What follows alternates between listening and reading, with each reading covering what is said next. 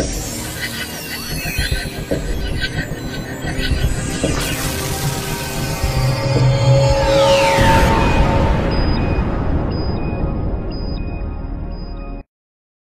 Friends మీకు అందరూ కూడా మన ప్రభువుని మన రక్షకుడు అయినటువంటి యేసుక్రీస్తునామంలో శుభాభివందనాలు తెలియపరుస్తున్నాను. ఈరోజు ఈ విధంగా మనం కలవడానికి గల కారణం ఏంటంటే మరి చాలామంది పురాణాలు నమ్ముతారు. అది శివపురాణం కావచ్చు లేకపోతే బ్రహ్మ వైవర్త మహాపురాణం కావచ్చు లేకపోతే శ్రీదేవి భాగవతం కావచ్చు లేకపోతే గణపతి పురాణం కావచ్చు ఇలా అనేక పురాణాలు హిందువులందరూ కూడా నమ్ముతారు. అయితే ఈ యొక్క పురాణాలలో ఈరోజు మనం మాట్లాడుకుంటున్నది ఏంటంటే పరిశుద్ధుడైన దేవుడు ఉన్నాడు అనే విషయాన్ని మాట్లాడుకోబోతున్నాం. ఎంతవరకు కూడా మీరు పురాణాలలో పరిశుద్ధుడైన దేవుడు ఉన్నాడా అనే విషయాన్ని మీరు ఆలోచించారేమో లేకపోతే పురాణాలలో పరిశుద్ధుడైన దేవుడు లేడు అనుకున్నారేమో. అయితే ఈరోజు నేను మీతో మాట్లాడాలనుకుంటున్న విషయం ఏంటంటే పురాణాలలో పరిశుద్ధుడైన దేవుడు ఉన్నాడు. పురాణాలలో పరిశుద్ధుడైన దేవుడు ఎవరు? పురాణాలలో ఉండేవారు అనేక మంది దేవుళ్ళు దేవతలు ఉన్నారు. మూడు కోట్ల ముప్పై మూడు లక్షల ముప్పై మూడు వేల మూడు వందల ముప్పై మూడు మంది దేవతలు ఉన్నారు కదా. వీరిలో ఎవరు? పరిశుద్ధుడైన దేవుడు అని ఆలోచించవచ్చు నేను మీకు ఆ పరిశుద్ధుడైన దేవుడు ఎవరో నేను మీకు తెలియపరుస్తాను ఆ పరిశుద్ధుడైన దేవుని యొక్క పేరు కూడా పురాణాలలో వ్రాయబడి ఉంది. ఆ పేరును కూడా మీకు తెలియపరుస్తాను పురాణాలలో పరిశుద్ధుడైన దేవుడు ఎవరున్నారు? అందరూ కూడా పాపం చేసిన దేవుళ్ళే కదా. పురాణాలలో ఉన్నటువంటి దేవుళ్ళందరూ కూడా అబద్ధమాడిన వారే కదా దొంగతనం చేసిన వారే కదా వ్యభిచారం చేసిన వారే కదా మద్యం సేవించిన వారే కదా. ఇతరుల మీద వ్యక్రే వ్యతిరేక భావంతో ఉన్నవారే కదా అని మీరు అనుకోవచ్చు. ఈ యొక్క పురాణాలలో చూస్తే పరిశుద్ధుడైన దేవుడు కూడా ఉన్నాడు. ఆ పరిశుద్ధులైన దేవుడు ఎవరో మీకు తెలియపరచాలనే ఆలోచనతో వచ్చాను. పురాణాల్లో ఉండే దేవుళ్ళలో గొప్పవారు మనకు తెలుసు. మొదటగా ఆది పరాశక్తి ఆమె ద్వారే మొత్తం దేవతలు దేవుళ్ళు వచ్చారు. ఈ ఆది పరాశక్తి ద్వారా వచ్చిన వారు బ్రహ్మ విష్ణు మహేశ్వర్లు తర్వాత వచ్చినటువంటి దేవతలు దేవుళ్ళు ఉన్నారు. అయితే ఆది పరాశక్తి విషయంలో మనం చూస్తే ఆది పరిశక్తి పరిశుద్ధాల కాదు. తన కుమారులనే వ్యామోహించింది తన కుమారులనే పెళ్ళాడింది కనుక ఆమె ఎలా పరిశుద్ధురాలు అవుతుంది. ఆమె ఒక వ్యభిచారమైనటువంటి స్త్రీ అవుతుంది. ఎందుకు అంటే కన్న కొడుకులతోనే సాంగత్యం చేసింది. ఒకరిని కాదు ముగ్గురిని కూడా మరి ఆమె వాళ్ళతో కలిపి సంసారం చేస్తూ ఉంది. కనుక ఆమె పరిశుద్ధురాలు కాదు పవిత్రురాలు కాదు. పోనీ ఆది పరాశక్తి ద్వారా వచ్చినటువంటి బ్రహ్మ పరిశుద్ధ అంటే బ్రహ్మ కూడా పరిశుద్ధుడు కాడు పవిత్రుడు కాడు. బ్రహ్మ కూడా తన యొక్క కుమార్తె అయినటువంటి సరస్వతిని రేప్ చేసి పడేశాడు వ్యభిచారం చేశాడు ఆమెతో. తననే కాదు తన సహోదరుడు అని చెప్పబడుతున్నటువంటి ఈశ్వరుని యొక్క భార్య అయినటువంటి సతీదేవు యొక్క సతీదేవుని చూచి వీర్యాన్ని స్కలించాడు సతీదేవుని వ్యామోహించాడు. మరి ఆయనలా పరిశుద్ధుడు పవిత్రుడు అవుతాడు అవడు కదా. బ్రహ్మ ఇంకొకసారి శివుని యొక్క భార్య అయినటువంటి పార్వతిని కూడా చూసి వ్యామోహిస్తాడు. బ్రహ్మ శివుని భార్యను చూచి వీర్యస్ఖలనం చేసుకుంటాడు. అంటే ఎక్కడ పరిశుద్ధుడు అవుతాడు పరిశుద్ధుడు కాదు కదా. అపవిత్రుడే కదా. అపవిత్రపరుచుకున్నాడు. తనను తాను. పరిశుద్ధుడు కానేరడు అలాగే విష్ణువును చూస్తే విష్ణువు కూడా అంతే. విష్ణువు తులసిని పాడు చేశాడు. తులసిని మానభంగం చేశాడు. తను ఎలా పవిత్రుడు అవుతాడు పవిత్రుడు కాలేడు. కనుక విష్ణువు కూడా పరిశుద్ధుడు పవిత్రుడు కాలేడు.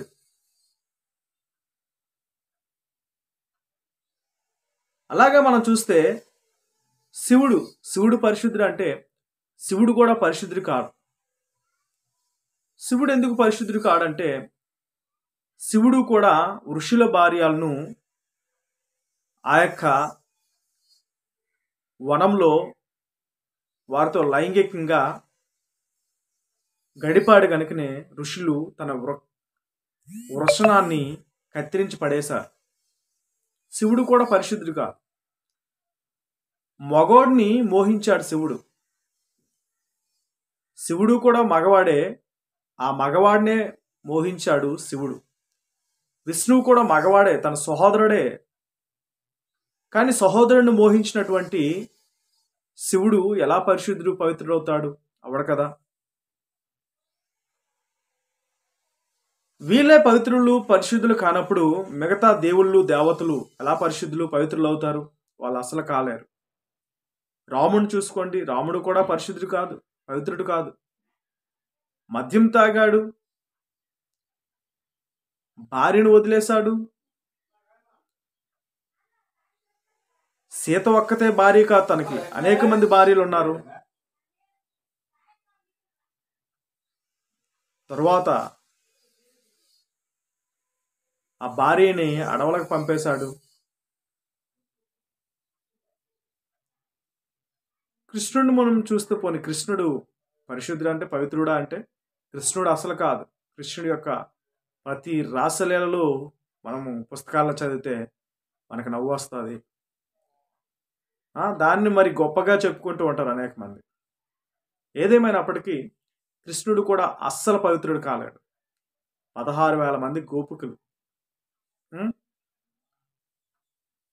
అలా మనం చూస్తే ఈ యొక్క పురాణాలలో ఎవరు కూడా పరిశుద్ధులైన వారు లేరు కానీ ఒక పరిశుద్ధులైన దేవుడు ఉన్నాడు. ఆ పరిశుద్ధుడైన దేవుడు చాలా గొప్పవాడు. ఆ పరిశుద్ధుడైన దేవుడు చాలా గొప్పవాడు.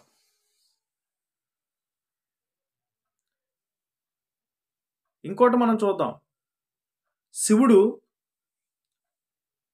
శివుడు అంజనాదేవి ద్వారా ఆంజనేయుని కన్నాడు. శివుడు ఎలా పరిశుద్ధుడవుతాడు మరి? అర్థమవుతుందా?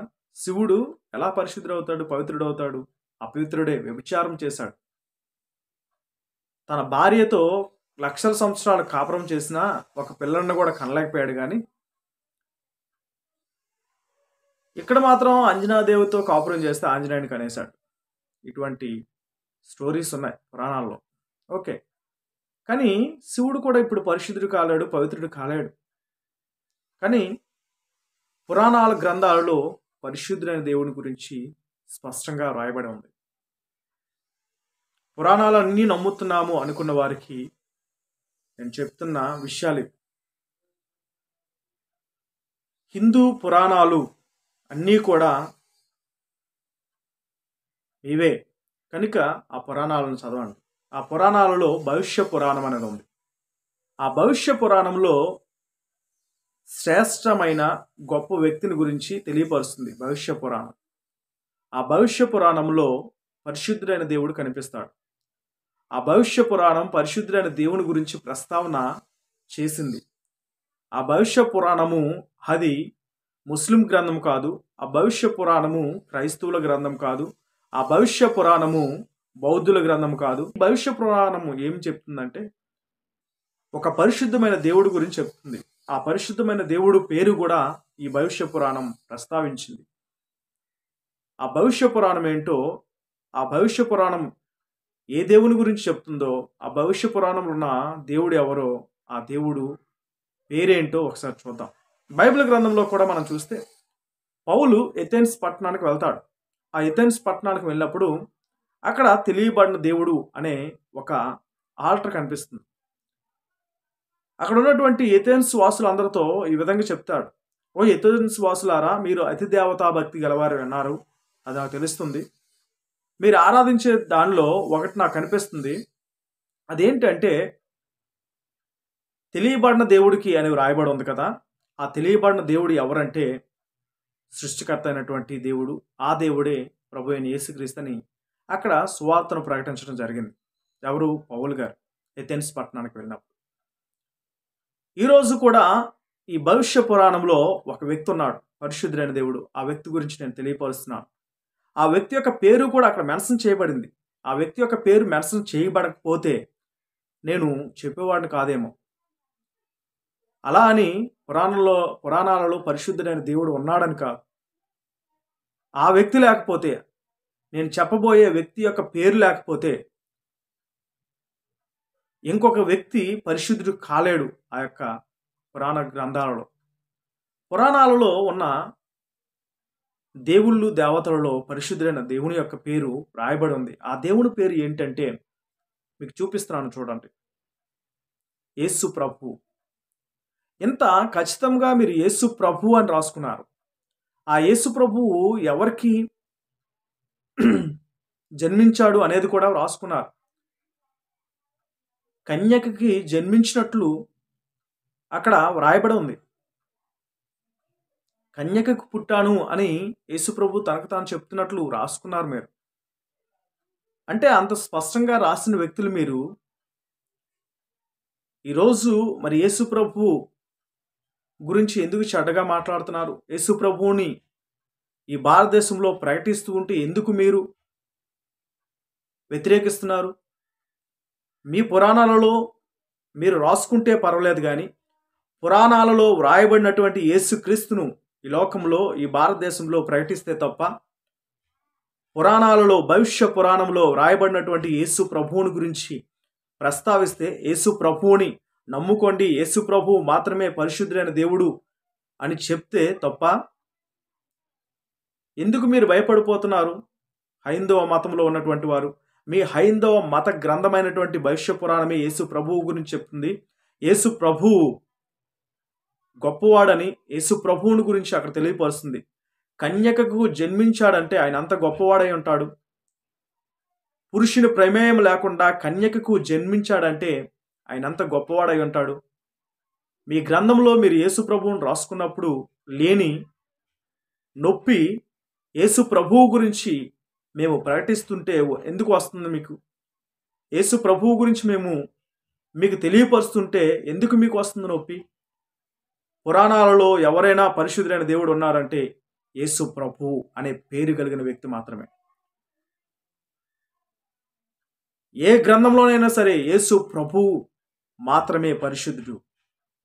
యేసు ప్రభు మాత్రమే కన్య మరియకు కన్యకు జన్మించి యేసు ప్రభు అని పిలువబడిన వ్యక్తి ప్రపంచ మానవుల పాపముల కొరకు రక్తము కాచి మరణించి సమాధి చేయబడి మూడవ దినాన లేచిన ఆ యేసు ప్రభువు మాత్రమే పరిశుద్ధుడు. ఇంకొక వ్యక్తి పరిశుద్ధుడు లేడు. పురాణాలలో ఉన్నటువంటి యేసు ప్రభు అనే నామము కలిగిన కన్యకకు జన్మించినటువంటి ఆ పరిశుద్ధుడైన వ్యక్తి మాత్రమే పరిశుద్ధుడు. ఇంకొక వ్యక్తి పరిశుద్ధుడు లేడు కానేరడు కాడు. కనుక ఈ పరిశుద్ధులైన వ్యక్తి కోసం మీరు పురాణాలలో రాసుకుంటారు. కానీ అది ప్రకటిస్తే మీకేం నొప్పి? మేము ఎందుకు ప్రకటించకూడదు? మేము ఎందుకు ప్రకటించొద్దు అంటున్నారు మీరు. మీరు రాసుకొని అన్నీ అన్ని చేస్తే పర్లేదు కానీ మేము ప్రకటిస్తే మీకు వచ్చేసిందా? కనుక ఒక్కసారి ఆలోచన చేయండి. ప్రియమైన వాళ్ళరా పురాణాలలో పరిశుద్ధులైన దేవుడు ఎవరైనా ఉన్నారంటే యేసుక్రీస్తు మాత్రమే. అది ఏ మతానికైనా సరే యేసు ప్రభు ద్వారానే మాత్రమే రక్షణ. యేసు ప్రభు ద్వారాన మాత్రమే పాప విమోచన. యేసు ప్రభు ద్వారాన మాత్రమే నరకాన్ని తప్పించుకునే గొప్ప కృప. యేసు ప్రభు ద్వారాన మాత్రమే ఆ స్వర్గానికి అనగా తండ్రి దగ్గరికి చేరుకునే గొప్ప మార్గము. యేసు ప్రభువు మాత్రమే. యేసు ప్రభువు ద్వారా తప్ప ఎవడు కూడా ఆ పరలోక రాజ్యమైనటువంటి స్వర్గానికి చేరుకోలేరు. కనుక యేసు ప్రభువుని తెలుసుకోండి. మీ పురాణ గ్రంథాలలోనే వ్రాయబడి ఉంది యేసు ప్రభు పరిశుద్ధుడు. ఆయన కన్యకకు జన్మించాడని. కనుక ఎందుకు లేనిపోనివన్నీ మాటలు మాట్లాడతారు? ఇంకో ఇంకొక విషయాన్ని కూడా నేను ప్రస్తావించవచ్చు ఇక్కడ నిన్నగాక మొన్న వచ్చాడు యేసుప్రభు అంటారు కదా మరి యేసుప్రభువుని గురించి ఎందుకు రాసుకున్నారు మీ గ్రంథాల్లో? లక్షల సంవత్సరాల నుంచి ఉన్నాయి అంటారు కదా మీ గ్రంథాలు. మరి లక్షల సంవత్సరాల నుంచి ఉంటే మరి యేసుప్రభు రెండు వేల సంవత్సరాల క్రితమే వచ్చాడు కదా మరి ఆయన గురించి ఎందుకు రాశారు? ఎలా రాశారు? ఒకసారి ఆలోచించేయండి ఇవన్నీ. లిపి లేని మతం ఏదైనా ఉందంటే అది హిందుత్వం మాత్రమే. లక్షల సంవత్సరాల నుంచి ఉందంట. దానికి లిపే లేదు. ఆ పురాణాలలో ఉన్నటువంటి దేవీ దేవతలు ఎవరికి కూడా ఆర్కియాలజికల్ ఎవిడెన్సెస్ కానీ హిస్టారికల్ ఎవిడెన్సెస్ కానీ ఏమీ లేవు. కనీసం వారు పరిపాలించినప్పుడు వారి కొరకు రాయబడిన శిలాశాసనాలు ఉన్నాయా? లేవు. వారి కొరకు ఏవైనా నాణ్యాలు ఉన్నాయా? లేవు. కానీ యేసు ప్రభువు అనే పేరు చెప్పబడిన వ్యక్తి యొక్క హిస్టరీని మనం పరిశీలన చేస్తే ఆయన ఉన్నప్పుడు ఆయనకు సంబంధించినటువంటివి అన్నీ కూడా శిలాల శాసనాలు అయితేనే ఆయన ఉన్నప్పుడు ఏమైతే ఉన్నాయో ఆయన ఏమైతే చెప్పాడో ఆ యొక్క నాణ్యాలు కానీ ఆ రాజులు కానీ అందరూ ఉన్నారు. ఆయన హిస్టోరికల్ పర్సన్ ఏసయ్య. యేసు ప్రభు గురించి మాట్లాడే అర్హత ఎవరికీ లేదు. కనుక యేసు ప్రభుని తెలుసుకోండి. యేసు ప్రభువుని మీ రా జీవితంలో సొంత రక్షకుడిగా అంగీకరించండి. ఆపమ నుంచి విడుదల పొందండి. ఆ పరలోక రాజ్యాన్ని స్వతంత్రించుకోండి. దేవుడు మిమ్మల్ని దీవించును గాక ఆమె థ్యాంక్ యూ